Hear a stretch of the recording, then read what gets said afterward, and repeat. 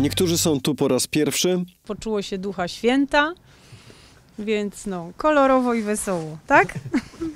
A inni wpadają co roku, bo to miejsce bardzo dobrze im się kojarzy. Pani przyjechała do mnie ze Szczygłowic, a pan z Przyszowic. I nigdy wcześniej się nie widzieli, o sobie nie słyszeli.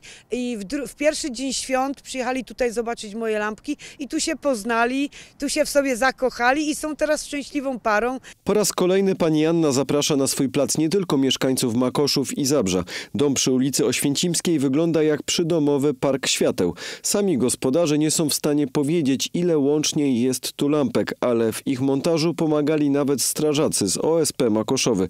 Ozdabianie domu ruszyło już w październiku.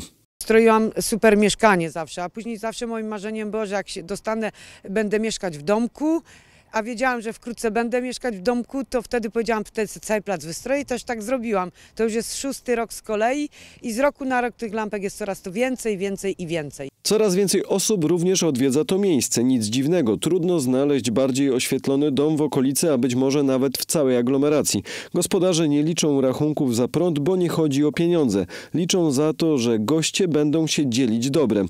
W tamtym roku udało się zebrać kilka samochodów z kocami i karmą dla zwierząt z zabrzańskiego schroniska. W okresie świątecznym w naszym schronisku odczuwamy tutaj, że dużo ludzi się mobilizuje, przyjeżdża do schroniska z prezentami. Mamy choinkę postawioną e, tutaj też w naszym holu i po prostu pod tą choinką co chwilę jakieś nowe prezenty się pojawiają. Jednak darów nigdy za wiele, zwłaszcza środków czyszczących. Pani Anna udowadnia, że pomagać można w nietypowy sposób.